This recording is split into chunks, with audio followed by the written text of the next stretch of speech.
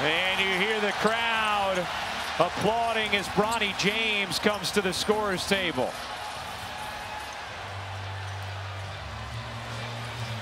Six 30-point game for Anthony Davis.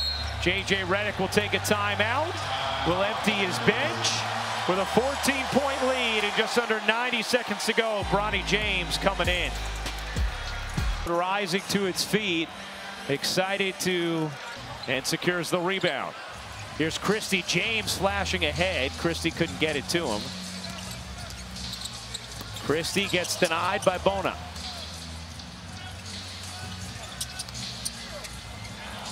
Council, no, but the follow is good. And free throws here for Quinones. Bronny going high here. Ooh, got it pretty good. That's pretty good. Yeah. And, and I was about to say, we have, you know, a 14-point game with 43 seconds left, and not very many people have left this building because they were wanting to see this, exactly what we're seeing right now. Bronny James get an opportunity to get in the game, and I know they're hoping he can get his hands on his basketball and get a shot. There it is, the cheers. They want him to put it up. Needs some help. Hasn't scored at home yet. Not sure he's going to get a look here. Christie, that's not what the crowd wanted.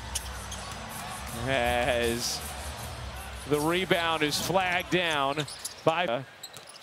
It's just incredible, the crowd, everybody on their feet just to catch a, a, a minute and a half of Bronny James. And that's one of those tough situations for Bronny, you know, to be able to navigate because